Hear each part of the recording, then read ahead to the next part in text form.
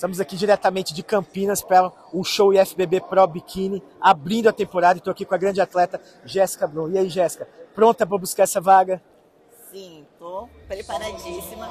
Já vim batendo várias vezes na trave aí e agora amanhã não vai ter jeito. Essa vaga é minha.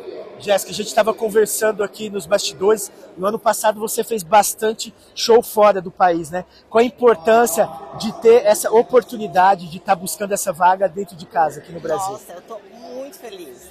É, quando eu fiquei sabendo, né, que teria ainda um show a mais pro de biquíni aqui no Brasil, fiquei muito feliz porque, olha, competir fora é difícil, é complicado, muitas vezes você vai sozinha, né? Então aqui você tá em casa, é maravilhoso.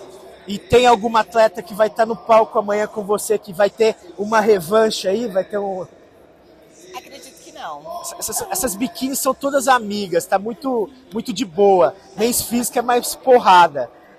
Deixa então um recado para elas que vão estar competindo com você amanhã, Jéssica. Não vai ter jeito de fugir dessa. Não, meninas, eu agradeço é, a presença de vocês, né? Tem que ter as meninas para competir, para ser uma competição, mas sempre vai ter uma que vai brilhar mais. E amanhã é meu dia.